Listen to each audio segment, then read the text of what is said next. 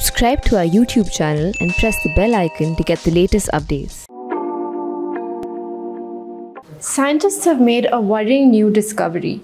Our planet's Earthshine is declining. The Earth doesn't have a light of its own, but it absorbs light and radiation from the Sun.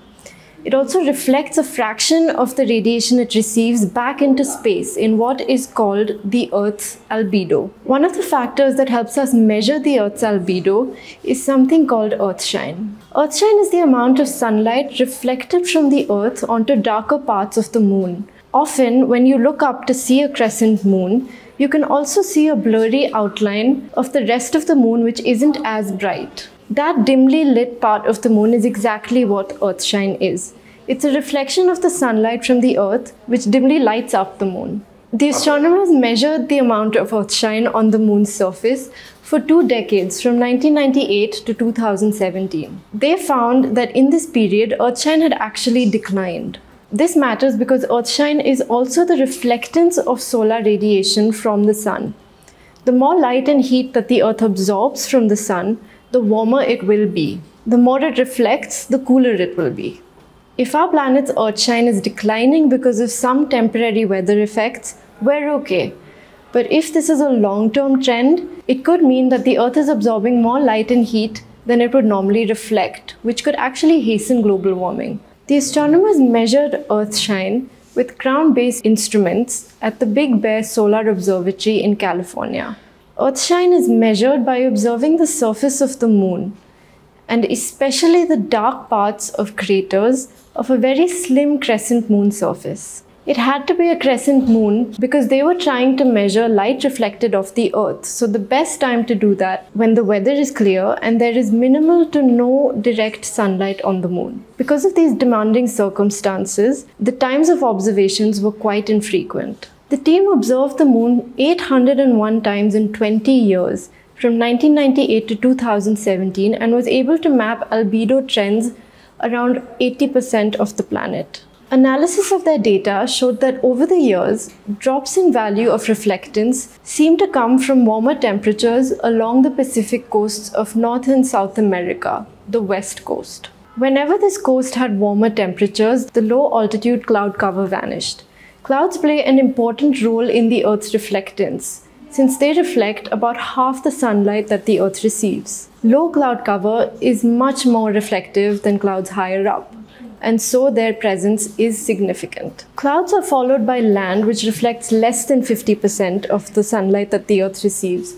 Snow and ice reflect the most at over 50%, and the ocean reflects the least of all, less than 10% of the sunlight it receives. When the eastern Pacific coasts are warm and without low altitude cloud cover, this not only decreases reflectivity because there are no clouds, but it goes the other way and increases absorption of heat from the sun because the seas are much darker and therefore more absorbent than ice. The Earth's albedo, which in turn affects the Earthshine, is extremely sensitive to weather events and climate change. The effects of melting ice, which is the most reflective factor on Earth, can affect how much the Earth is able to radiate back into space. If there's no ice, the Earth sends out less radiation, which could help accelerate global warming. What is worrying is that the largest drop in reflectance occurred in the last three years of data collection, from 2015 to 17.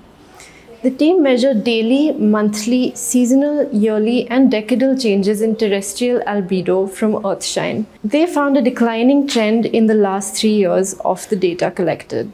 The scientists say this could be explained by accelerating global temperatures that may have started around 2014 after what they call a 20 year hiatus. Since the 1970s, global temperatures rose 0.5 degrees Celsius above pre industrial levels over a period of 25 years.